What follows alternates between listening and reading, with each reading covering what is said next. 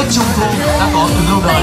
Cũng không ai biết rõ Tết Trung Thu bắt nguồn từ đâu, Nhưng đây là dịp để cả gia đình lại sum họp Để cùng ăn bánh và cùng thưởng thức ánh trăng thu trong trẻo Và bầu không khí áp của đêm rằm đến với mọi nhà và như mọi miền quê trên đất nước Việt Nam, Trung thu ở Tuyên Quang được tổ chức chủ yếu cho thiếu niên nhi đồng với những hoạt động múa lân, múa rồng, rước đèn ông sao. Và trong những năm trở lại đây, Trung thu ở Tuyên Quang được đông đảo bạn bè, du khách gần xa, trong nước cũng như ngoài nước biết đến với những hoạt động giữa mô hình khổng lồ độc đáo riêng có và đã xác lập được các kỷ lục Guinness Việt Nam như đêm hội Trung thu có nhiều mô hình lớn nhất, có mâm cỗ Trung thu lớn kỷ lục Guinness được xác lập trong cặp đèn kéo quân lớn nhất Việt Nam là hoạt động chào mừng kỷ niệm 79 năm cách mạng tháng 8 thành công và quốc khánh nước Cộng hòa xã hội chủ nghĩa Việt Nam mùng 2 tháng 9. Hôm nay trong niềm vui hân hoan, phấn khởi chào đón lễ hội thành viên năm 2024 và tổ chức các hoạt động tham gia liên hoan trình diễn di sản văn hóa phi vật thể, đại diện của nhân loại. Chào mừng năm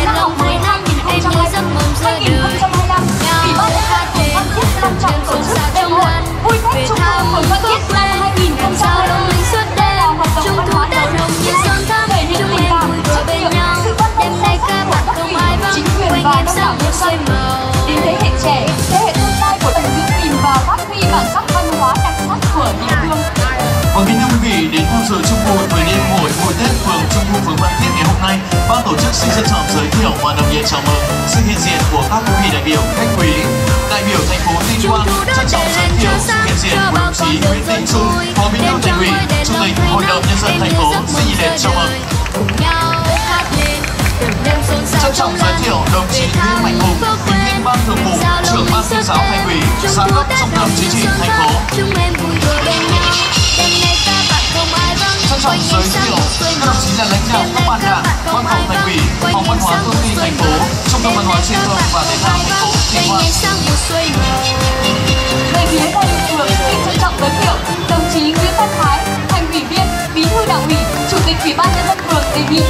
Chào mừng.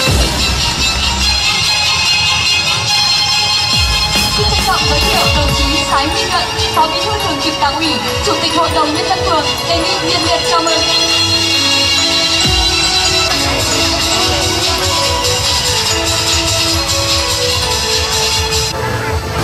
chiếc đèn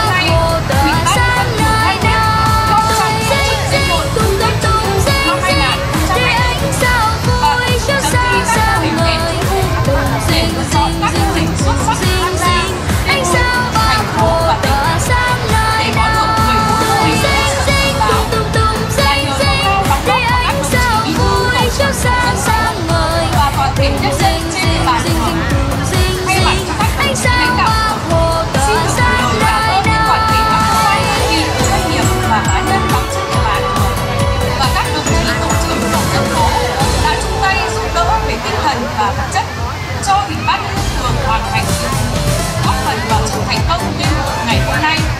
Những cô các vị đại biểu thành quý cùng toàn thể nhân dân và các em yêu quý. Với tinh thần và ý nghĩa đó, thay mặt ban tổ chức tôi tuyên bố khai mạc lễ hội vui tết trung thu phường phan thiết năm 2020 cuối cùng xin kính chúc các đồng chí lãnh đạo, các vị đại biểu khách quý và toàn thể nhân dân, lời chúc sức khỏe.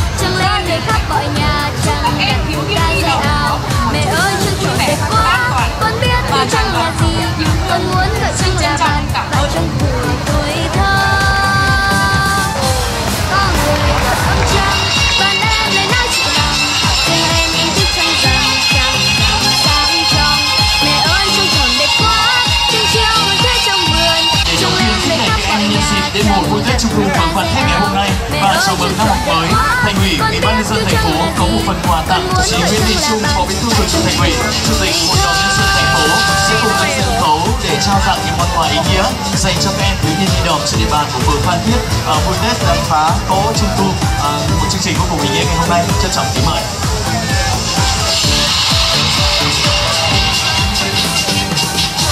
con người gọi âm cha bạn em lên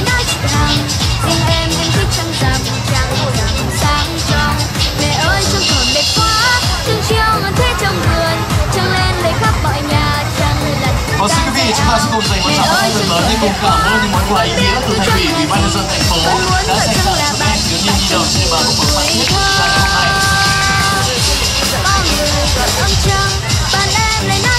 Kiểu khách quý, các đoàn thể nhân dân cùng các em thiếu niên nhi đồng mến. Mẹ ơi trăng học thơm đẹp các quá.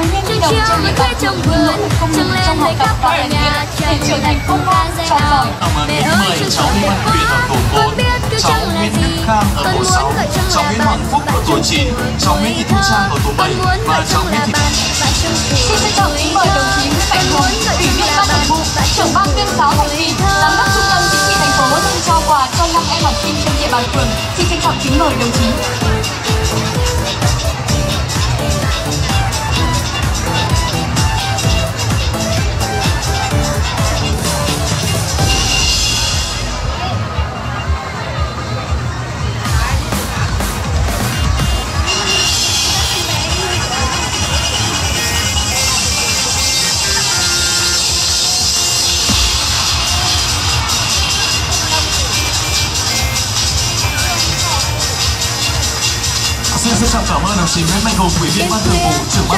Ủy, giám đốc trung tâm chính trị thành phố. Và xin được cảm ơn em học sinh. Học tập của các em nhân dịp khai giảng năm học mới và đến buổi vui Tết Trung thu ngày hôm nay, cấp ủy, chính quyền, hội khuyến học, ban chỉ đạo quỹ vì người nghèo của phường Phan Thiết đã xét tặng 76 xuất quà, mỗi xuất quà trị giá 300 ngàn đồng với tổng số tiền là 22 triệu 800 ngàn đồng cho học sinh có thành tích cao trong học tập và có hoàn cảnh khó khăn, hộ cận nghèo trên địa bàn của phường. Và trong đêm hội vui Tết Trung thu ngày hôm nay, điều kiện về mặt thời gian, ban tổ chức sẽ tiến hành trao đại diện cho 10 học sinh có thành tích cao trong học tập và 10 xuất quà cho những học sinh có hoàn cảnh khó khăn, con hộ cận nghèo trên địa bàn của phường. Và tiếp theo chương trình, ban tổ chức xin được trân trọng kính mời 10 em học sinh có thành tích cao trong học tập năm học 2023-2024 sẽ lên sân khấu đón nhận những món quà ý nghĩa từ ban tổ chức. Xin mời em Ma Trí Anh ở tổ 2, xin mời em Nguyễn Đào Ba Duy ở tổ 2, xin mời em Vũ Minh Tú ở tổ 4, Phùng Phương Thảo ở tổ 7, em Nguyễn Mai Hòa ở tổ 10, em Đinh Xuân Hiếu ở tổ 11, em Phan Thanh Lan ở tổ 14, em Phạm Ngọc Quang ở tổ 14, em Ma Ngọc Linh ở tổ 16 và em Nguyễn Hoàng Gia Bảo ở tổ 16. Xin được trân trọng kính mời các em sẽ cùng lên sân khấu.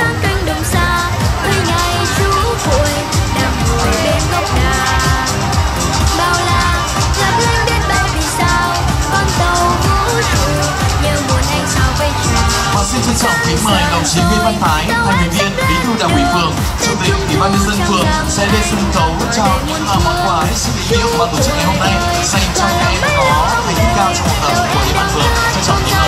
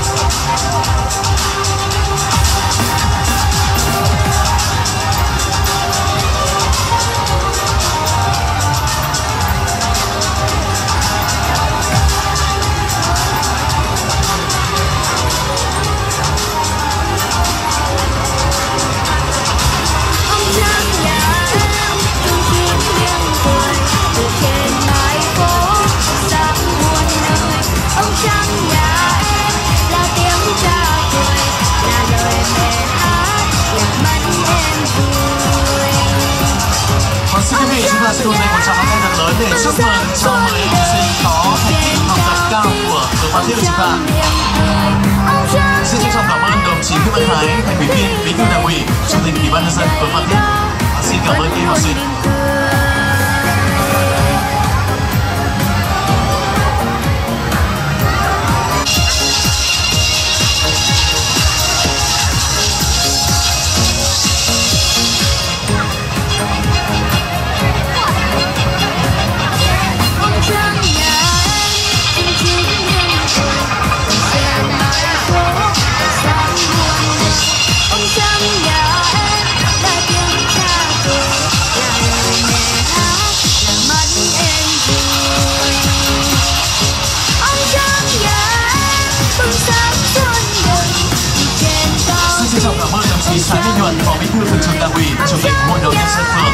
Xin được trân trọng cảm ơn các em học sinh của chúng ta.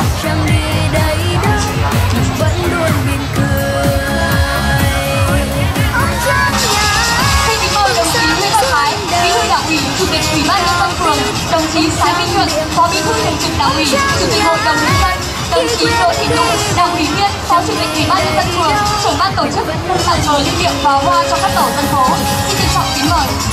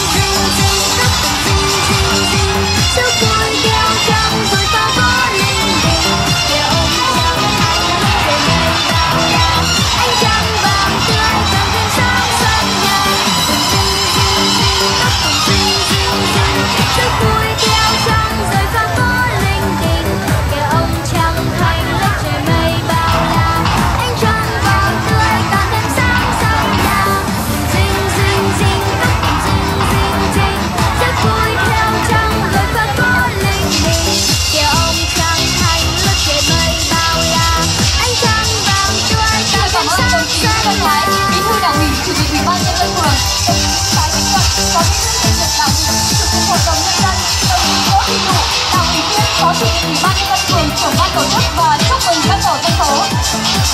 Và xin được cảm ơn uh, 14 tổ dân phố trên địa bàn của Vườn Phan Thiết đã mang đến cho đêm hội của chúng ta uh, 14 mô hình thật sự đặc sắc và ý nghĩa. Xin được cảm ơn.